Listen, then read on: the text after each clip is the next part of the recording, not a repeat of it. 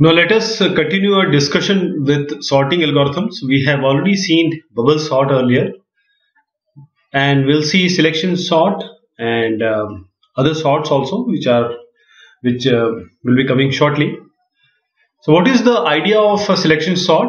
The idea is to find the smallest element and bring it once and for all to its correct position that is the first place in the array. Then again for the second position, find the smallest, place it there.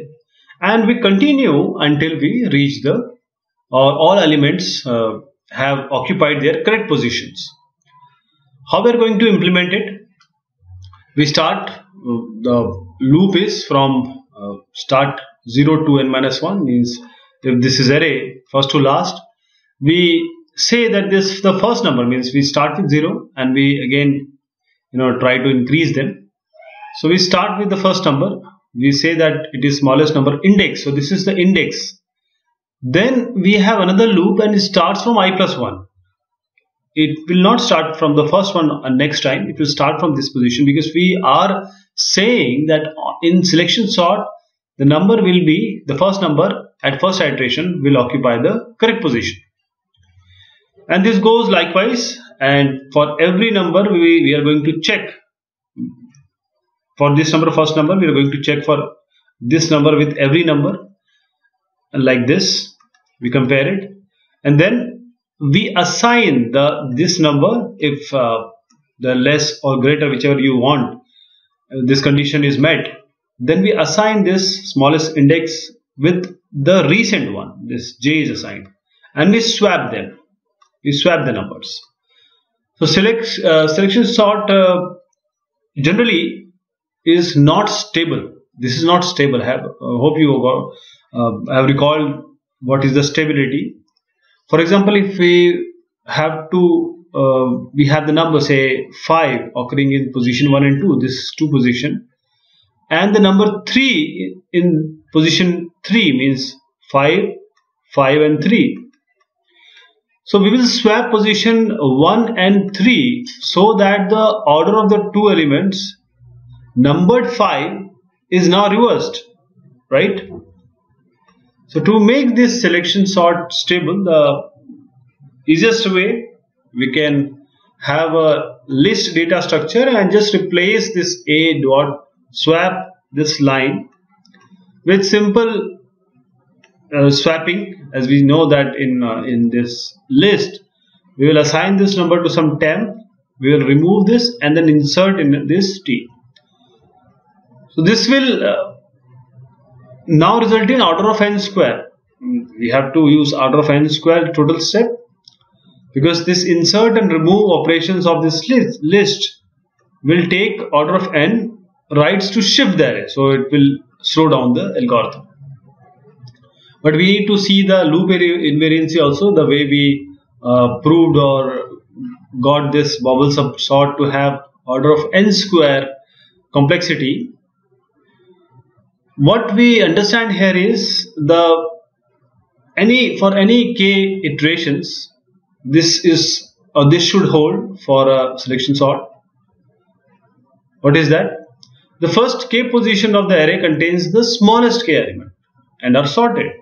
But the last n minus k positions are not necessarily sorted. We don't know.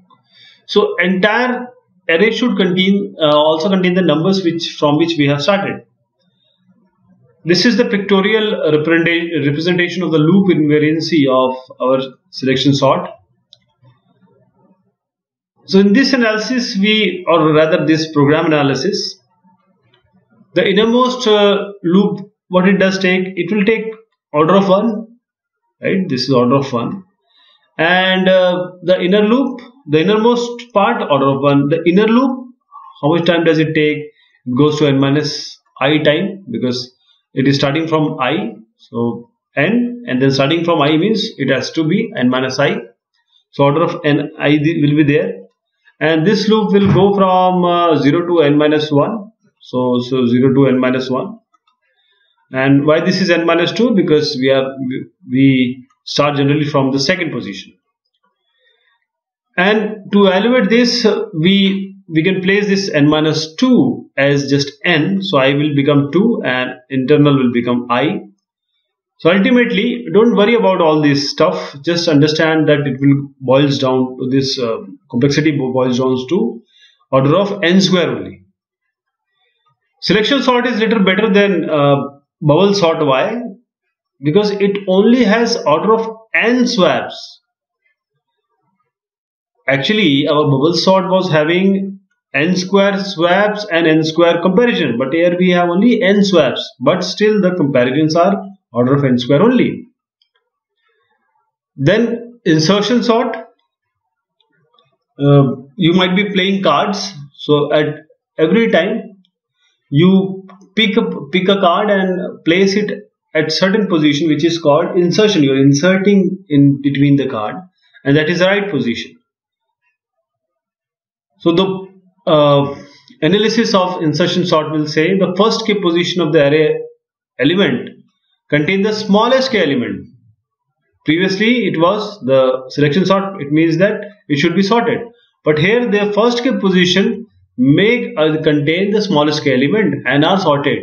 And the last n minus k may not necessarily be sorted. And all the array will contain the same element similar element which we started at the beginning so let's think about this uh, algorithm or invariancy. So we will get if instead we have just this first k position is sorted without thinking about the fact that they also contain the smallest k element in the first one. So this is general visualization how it you know various values will go like this and ultimately we will find a uh, sorted value. But we will see that there is a noticeable difference between the visualization of selection sort and bubble sort. The sorted area is sorted internally but may contain elements that may that are larger than some elements in the unsorted area. Okay, the, this is the loop invariant for algorithm called insertion sort.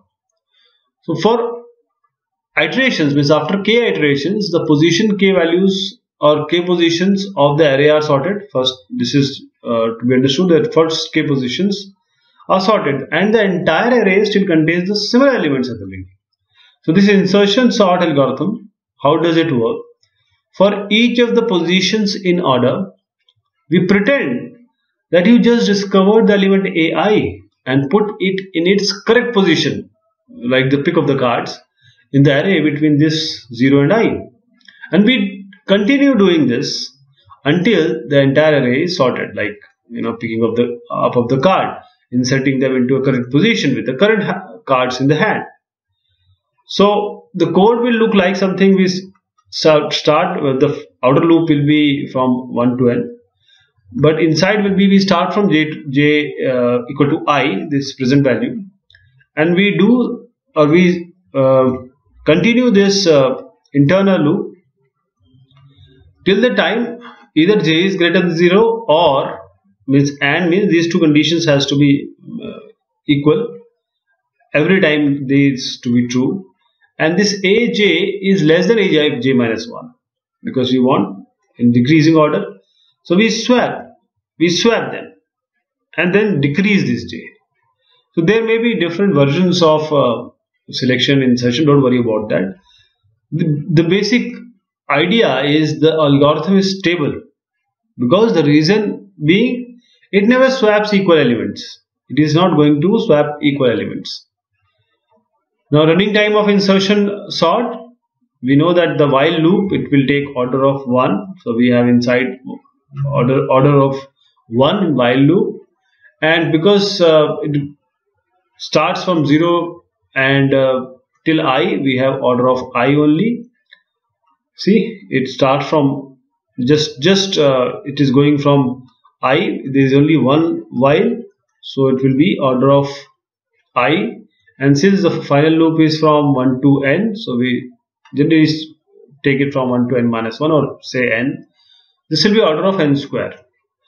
So uh, insertion sort is also a quadratic algorithm. That means it also takes that n square value of uh, complexity but it is quite fast if the values are less. Okay? We'll see recursive algorithms uh, later. But we can optimize this implementation this particular implementation. How?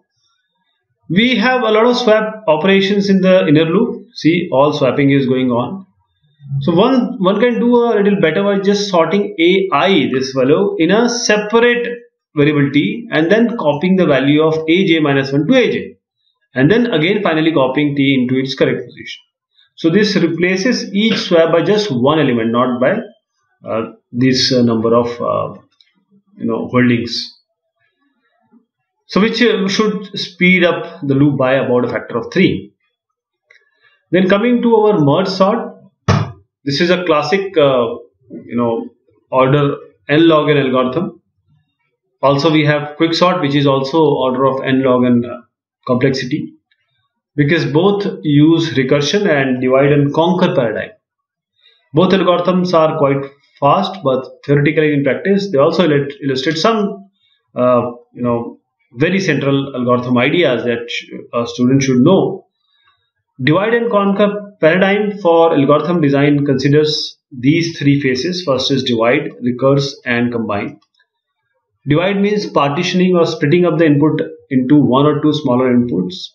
So these inputs may overlap but in in the simpler examples they usually don't. And we solve the problem on each of the smaller sets. Means if this is the whole set we divide them. And again divide them divide them. And in the smaller set we solve the problem.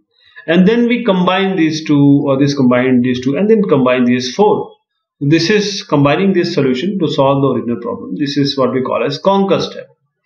We have already seen this. Hope you recall this binary search. This we have done using divide and conquer only. So the divide step it consists of comparing the searched element of x to the median element of the array. That is n by 2 position. And this means in this array this is the center position which we want to divide. Half one this time half this way so this divided uh, the array into one smaller input namely the half of the array this is half this is half which this x was now known to lie value is either lie on this um, area or this area. Then the recurse step was to recurse call for just that one half and combine step was trivial. Means again we divide this into half, again this half, this half. So we recurse. So the merge sort algorithm fits into this divide and conquer paradigm. Because we divide do nothing. Dividing we are doing nothing. Just uh, dividing the array into two equally sized uh, halves. Recursively or recurse means recursively sorting the two halves and then combining. This is where all the work gets done. This is actual time taking uh, part. So the two sort sorted halves get merged in one uh, linear time pass. This is the code for a simple merge sort. What we do this is the merge sort. These are three calls to the function merge sort merge sort and this uh, merge. Means just understand that if this is these are the numbers we are taking a mid and this position is merge sort. This position is again merge sort and then we are merging them. But every time we are calling this merge sort we are dividing it and every time we are dividing it we are merging them also so this is the merge function which is actual implementation which is taking which will take some time. So what we are doing is we are actually merging, right? We are taking subarrays and merging. So I will not go into the detail. You can just um, pause and understand. So many recursive algorithm like that, the invariant of this merge sort is actually just the correctness condition of the algorithm. And we, we, this may be expressed like this, that after merge sort A, this is all and R left and right L for left R for right after this merge sort executes this A is sorted between L and left and R R L and R and contains the similar element as the original array and the most interesting visualization which is explains the progress of the algorithm is uh, not drawing the array right after the two recursive calls but just before the merge step so since all uh, the actual work happens inside the merge function only, the other ones are just recursive calls. So the hard work in providing the invariant would come from analyzing the merge function. So let's take a lemma that if this merge array left R and mid is called such that A is sorted between this L and M and separately between M plus 1 and R. And then after merge runs that is merging is um, applied the array is sorted between this left and right and it contains the similar elements. You know to prove this uh, particular lemma merge uses mostly one loop. We would have to phrase a cautious loop invariant and thus prove by induction so we would uh, be just i plus j in the that would be just i plus j in the merge function. Uh, so uh, right now this uh, is uh, out of the scope of this discussion. But uh, this is how these two are at the mid position and from the starting position. So the state of merge state before an actual merge call is seen here. So hopefully we'll be doing or talking about more of this. Uh, thank you so much. Take care.